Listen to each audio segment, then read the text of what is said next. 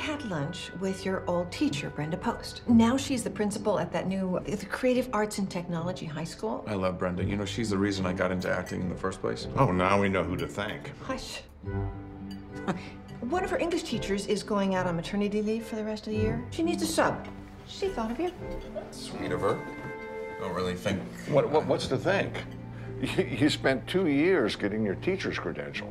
15 years ago as a backup plan. Exactly. Can't hurt to have a backup plan. Yeah, it's a couple of months. You pay down your debt, and if this commercial pays off, Dad, it will. well, then the rest is just icing on the cake.